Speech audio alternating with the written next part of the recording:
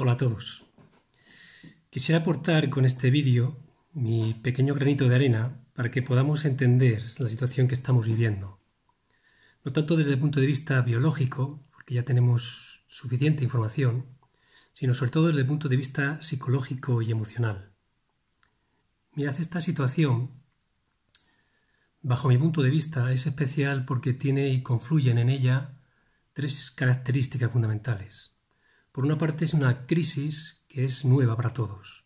Nunca antes habíamos tenido la experiencia y el registro en nuestra memoria de situaciones similares, lo cual la convierte en una situación marcadamente estresante. La otra característica de esta situación es que existe un estímulo real, cercano, objetivo, amenazante. Y esa amenaza nos genera emociones de miedo, inseguridad, incertidumbre, angustia y por supuesto frustración y rabia. La tercera característica es que nos provoca una sensación o sensaciones de pérdida.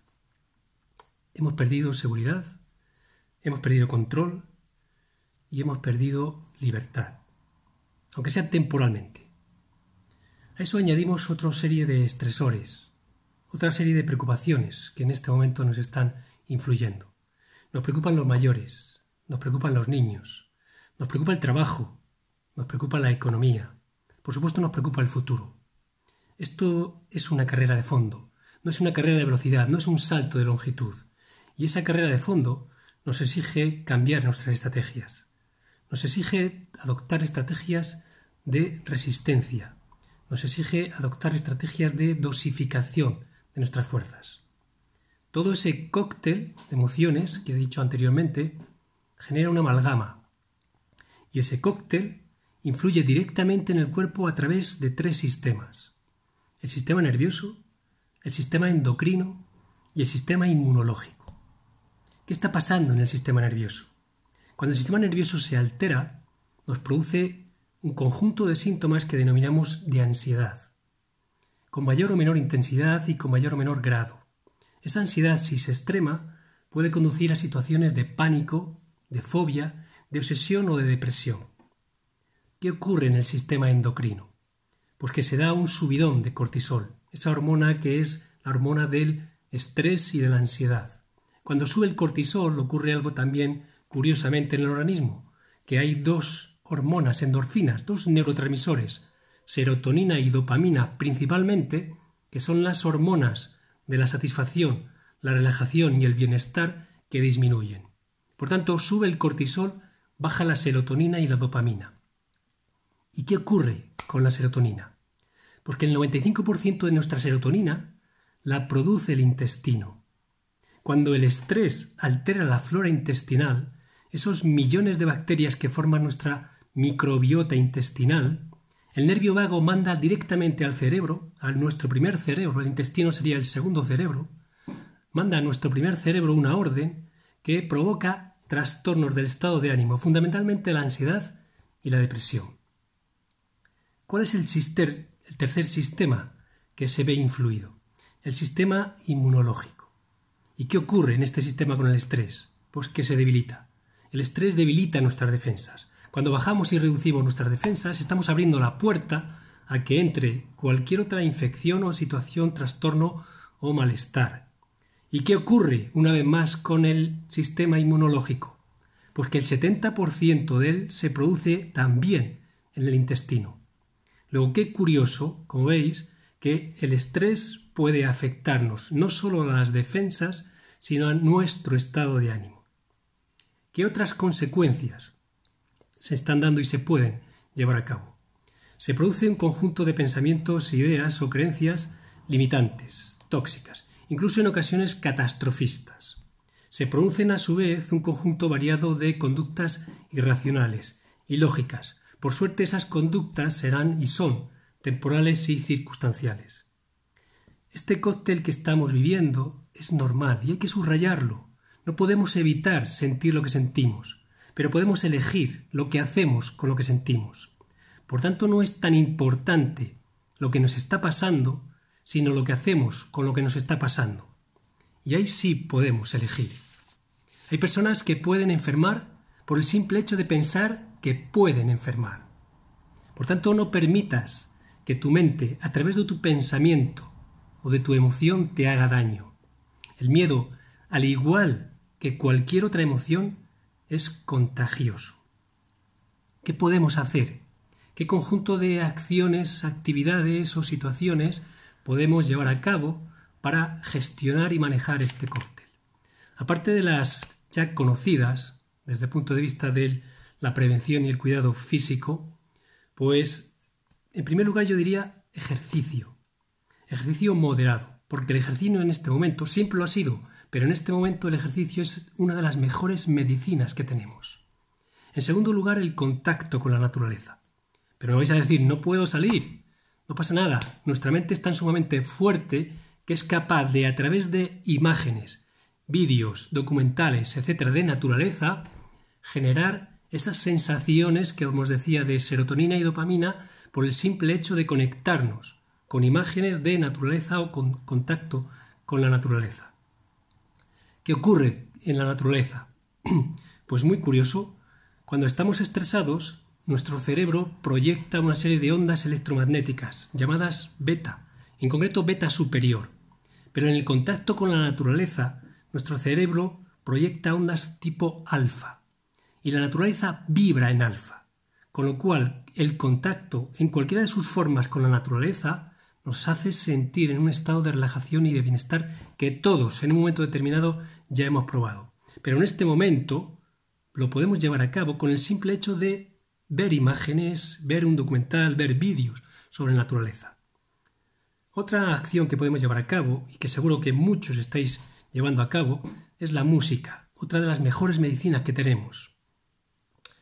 Coloca y pon tu música favorita, sube el volumen y sentirás un subidón importante. Si cuando te pones tu música favorita, cuando subes el volumen, cuando mueves el cuerpo, no sientes un subidón, preocúpate porque estás muerto. Otra actividad que podemos llevar a cabo es cantar, bailar, danzar, cualquier ejercicio que suponga expresión corporal. Repito, cantar, bailar, danzar, dejar que el cuerpo de forma libre exprese. Puedes expresar esas emociones, Puedes mover el cuerpo como si expresaras la emoción que estás sintiendo. ¿Cómo se mueve tu cuerpo cuando siente tristeza? Cuando siente alegría, cuando siente rabia, cuando siente frustración, cuando siente miedo. Deja que el cuerpo hable, que el cuerpo se libere, que el cuerpo se exprese. Actividades del tipo pintar, dibujar o cualquier otro tipo de actividades manuales que te permitan focalizar tu atención no en el problema, sino en otro tipo de acciones gratificantes, recuerda, para reducir el cortisol y subir serotonina y dopamina. Por supuesto, jugar, y de ahí tenemos eh, a los niños como expertos en, este, en esta actividad, ¿no? Jugar a reír, jugar a limpiar, jugar a cocinar. Podemos jugar a soñar despiertos. Por supuesto, puedes jugar a soñar en lo que vas a hacer el día de mañana cuando todo esto acabe, cuando todo esto le pasemos página y podemos encontrarnos con todas esas personas que en este momento solo estamos eh, conectándonos por voz, por imagen o, a través del recuerdo sencillamente, ¿no? Sueña despierto en esas buenas imágenes que también nos van a proporcionar una agradable sensación de satisfacción y nos van a ayudar. También tenemos la meditación en cualquiera de sus formas. Se puede meditar limpiando, se puede meditar haciendo la cocina, la limpieza, se puede meditar cocinando, se puede meditar escribiendo, se puede meditar eh, cantando, leyendo, simplemente tomando conciencia de tu respiración.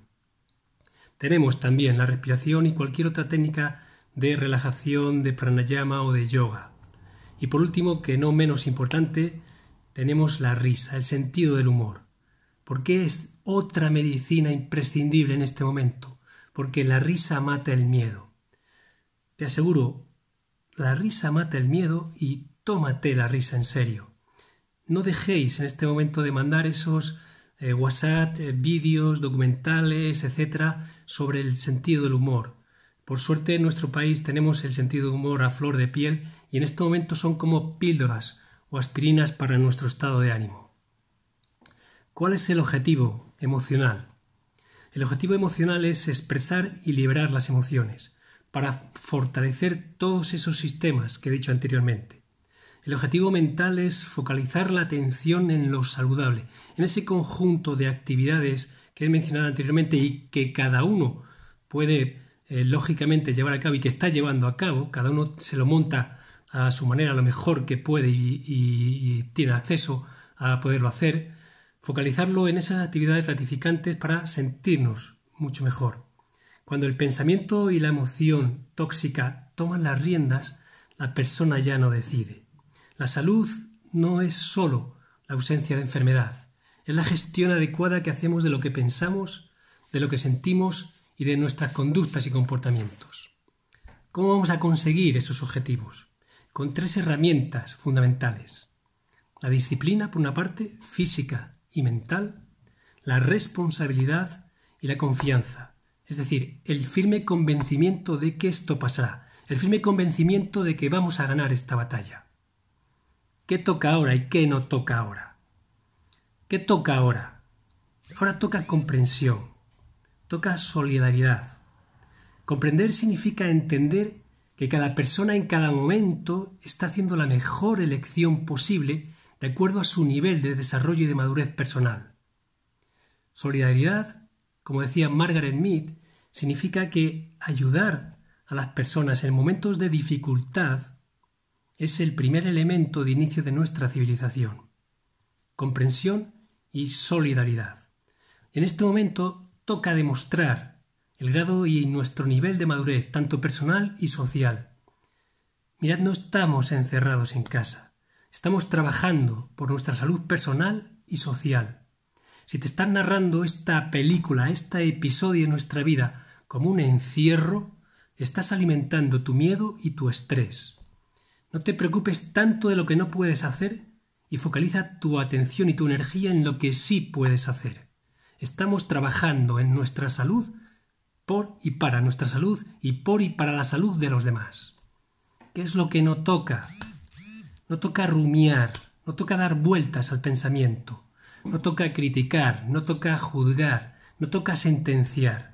Mirad, cuando ese cóctel emocional toma las riendas y no se sabe digerir, gestionar o asimilar, lo que hacemos es desplazarlo hacia afuera, hacia afuera de la persona, y buscamos con ello culpables, asumiendo y lanzando fuera de nosotros el malestar que no podemos manejar. Hay otro virus en este momento. Hay uno que llevamos y conocemos bien, que lamentablemente nos va a costar desprendernos de su nombre, pero hay otro virus, y es la infosicación, la sobredosis de información. Porque el exceso de información, de noticias, y sobre todo su contenido, inhiben el pensamiento, ya que no hay posibilidades de refutar la información, de filtrarlo, y solo nos queda tragarnos esa información. Con lo cual, con la mejor intención, podemos conseguir los peores efectos. Mantengamos, por tanto, una dieta saludable de esa información. Ahora nos damos cuenta de dos cosas fundamentales. Una, de que somos vulnerables. Pero aceptar esa vulnerabilidad no nos hace más débiles, nos hace más fuertes. Y la otra cosa es que estamos unidos. Irremediablemente estamos interconectados, para lo bueno y para lo malo. Y ese sentimiento de unidad es, es lo que nos va a permitir que salgamos de esta. Quisiera dejaros para terminar una pregunta, para la reflexión, dado que ahora tenemos más tiempo. Esto que está ocurriendo, esto que estás viviendo, esto que estás sintiendo, esto que estás experimentando, está ocurriendo para que aprendas qué. ¿Qué estás aprendiendo con todo esto? Si necesitas en estos momentos una mano amiga, una mano de apoyo, de fuerza y coraje, una mano de estímulo, recuerda que al final de tus brazos tienes dos. Porque también tú te mereces ese aplauso y también, también te mereces ese abrazo. Gracias.